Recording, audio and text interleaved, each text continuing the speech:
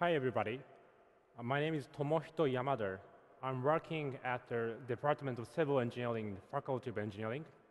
My research field is hydrometeorology. Today, I would like to talk about water-related issues. Title is Along with Water. Without uh, consulting the water, we cannot explain why the human being has developed its own civilization and cultures. The, for example, in Egypt, civilization is originated about 5,000 years scale at the lower Nile River basin. Nile River brought rich soil to that area every year, and the people could manage and uh, sustain the uh, agriculture activities as well as our water resources management. In Sichuan province in China,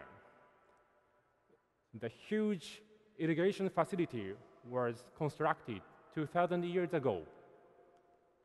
Surprisingly, even now, that irrigation facility is indispensable to water resources management in that area. In Japan, the flood controlling management is called as chisui in Japanese language.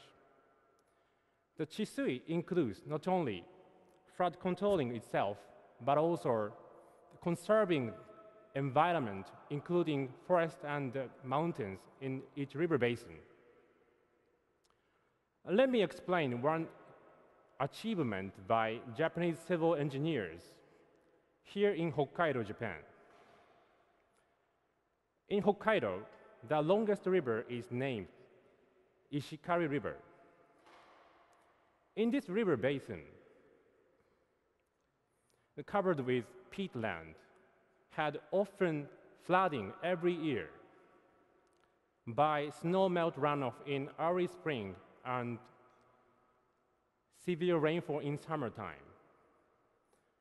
People had a dream to mitigate flood risk in this river basin, as well as changing land use for better agriculture activities.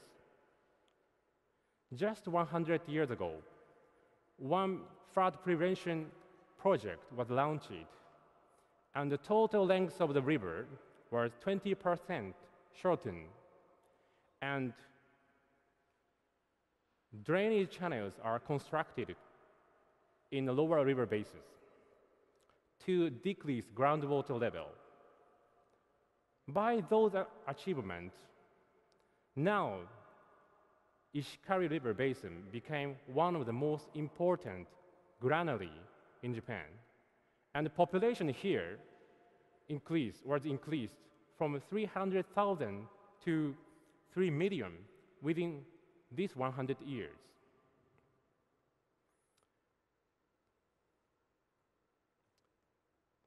Here, let me explain global water accessibility story.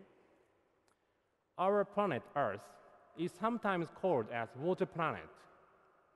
However, the available fresh water is only 2.5% in total water. And global water population has been rapidly increased from last century. It means our human being has to share the limited water with 7 billion people at the current situation.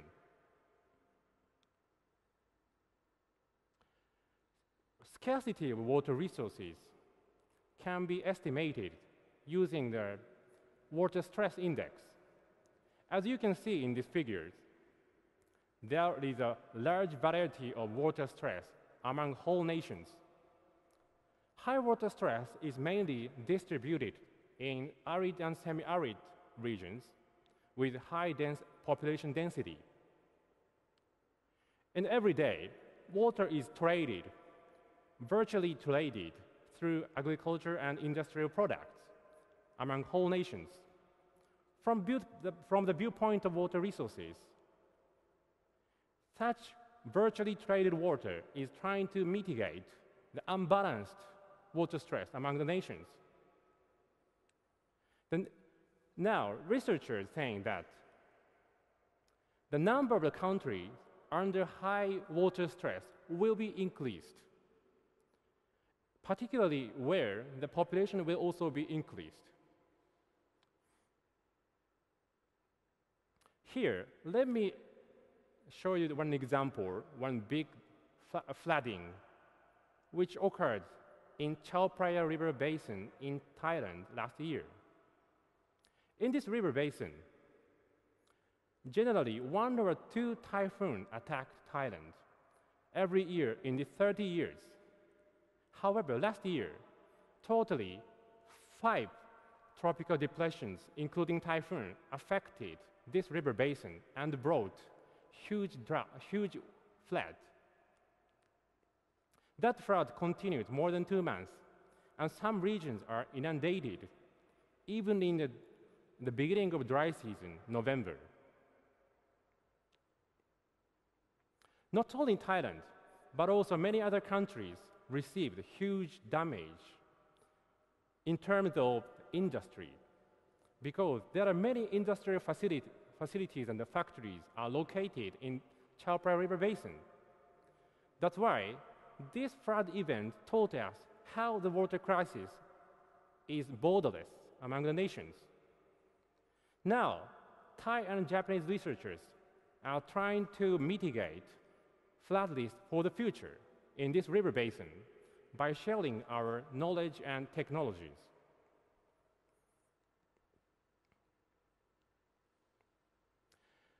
So well-balanced water resources is a target for us. So that well-balanced water resources can be discussed both in temporal and spatial scales. If the rainfall is intensified with very small time scale and in the small spatial scales, there is a high risk of flash flood due to torrential downpour. If the rainfall continues more longer time scale, and spatial scale, longer, uh, larger spatial scale, the severity of big flood will be higher, like the case in Thailand last year. On the other hand, the shortage of rainfall continues the spatially and the longer time scale. There is a high risk for the drought. The United States this year, it was, it was recorded the historical drought this affected the agriculture trading, especially for wheat and corn.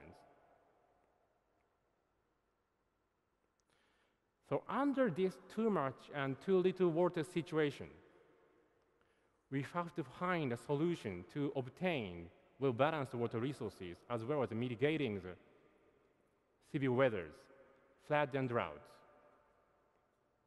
Furthermore, well-balanced water resources highly depends on the, each river basin because the climate, our uh, human activities, including culture and lifestyles, are totally different. Then, how can we predict the future? How can we understand our global hydrological cycle? This figure shows global water budget annual, annual precipitation, evapotranspiration, river runoff, and other hydrological variables are estimated. You may have seen similar figures on your textbooks. However, obtaining the high accurate hydrological variable itself is challenging in our field.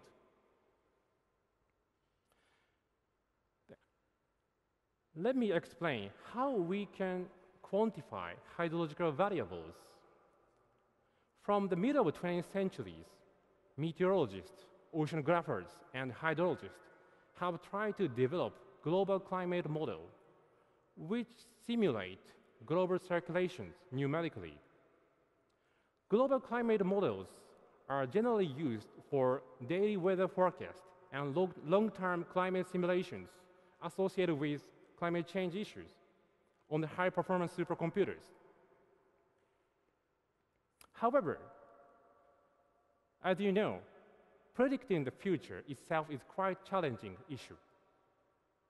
One of the reasons can be seen relating to atmospheric memory story.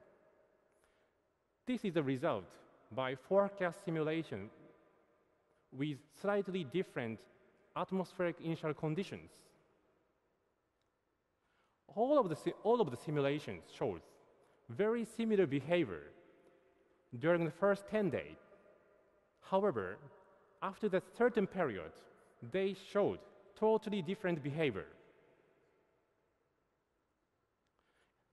Because of the, that is caused by nonlinear characteristics of the atmosphere and complex interaction system among land, atmosphere, and ocean, oceans. So how can we predict more accurate hydrological cycles? We have to gather various kind of global environmental data sets. Now, more than 100 satellites are circulating our planet and observing our global environment. Now it became possible to observe cloud, soil moisture, vegetation, ice, and sea surface conditions. Furthermore, it also became possible to measure precipitation itself globally. By those activities, enable us to discuss hydrological cycle even in engaged river basin.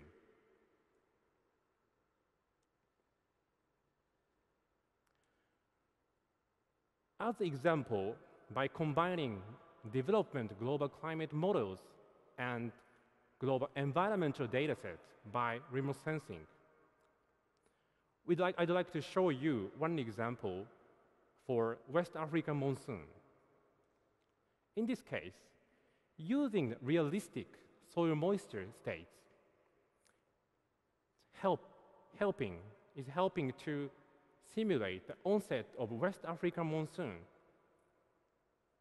in, in global climate models.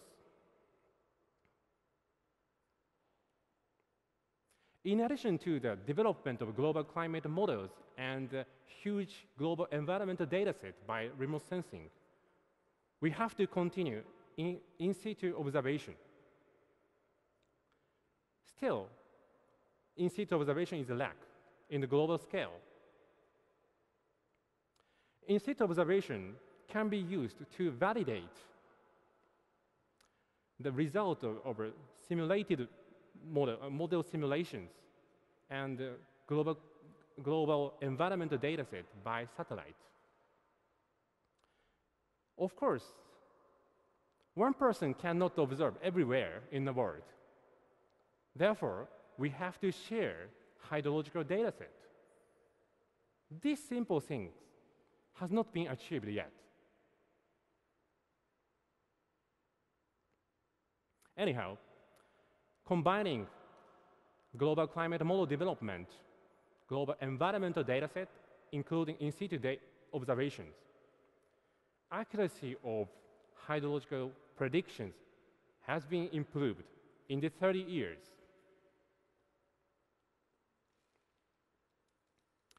Let me focus on more longer time scale. This animation shows global average temperature distributions from 1950 to the recent years. As you can easily understand, the distribution of the temperature field has been shifted both mean state and tails.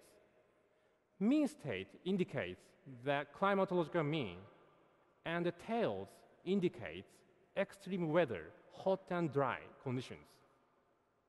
The difficult thing is we have to find the solutions for stable water resources and mitigating the severe weather risks under the condition that climatology itself is shifting.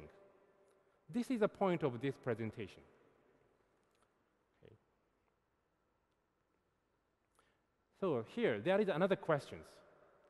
Does our human being affect global hydrological cycle or not? Recently, hydrologists have developed land surface model including human impact modules such as irrigation and fossil groundwater pumping. focusing on sea level rise story in global scale,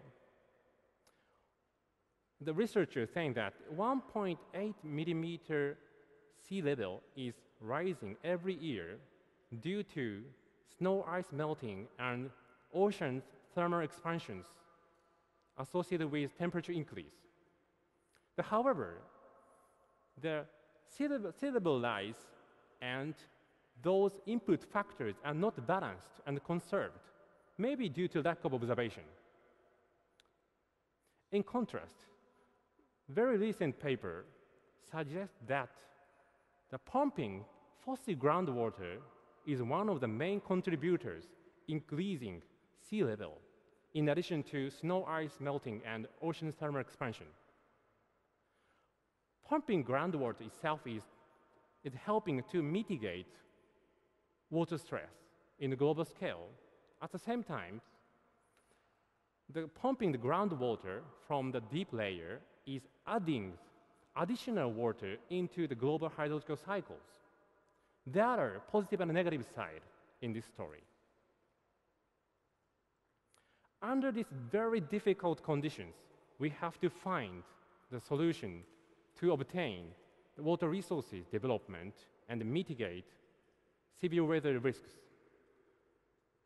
I'm very looking forward to working with you to tackle these issues in this beautiful Hokkaido, Japan.